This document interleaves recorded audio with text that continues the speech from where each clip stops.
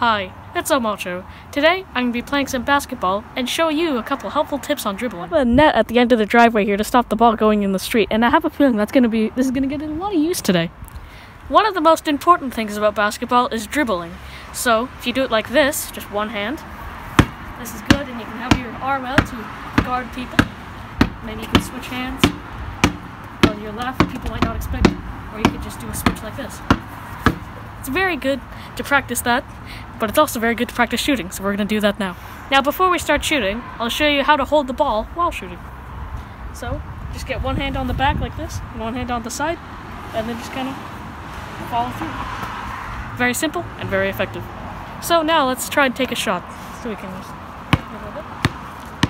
And then get the forearm, you know, and straight.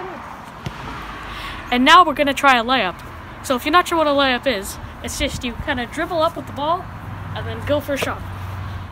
So you dribble up, two step, and in. And now let's do another one.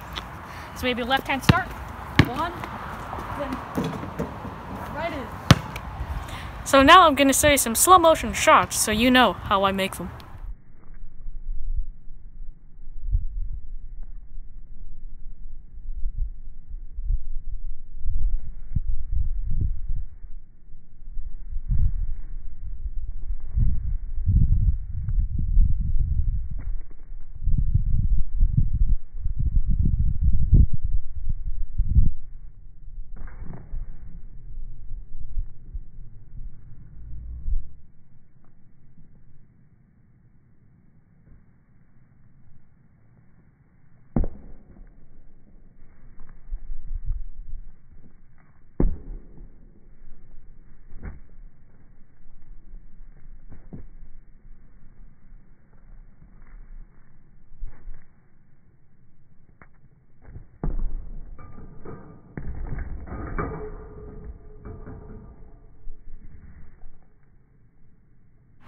And now it's time for some epic trick shots with El Macho.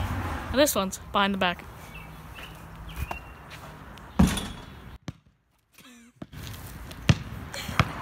This one's called the far away shot.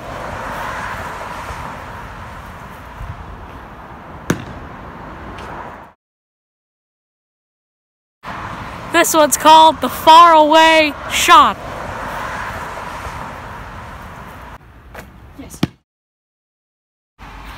Thank you for watching this sports vlog. Hope you enjoyed, and I'll see you next time.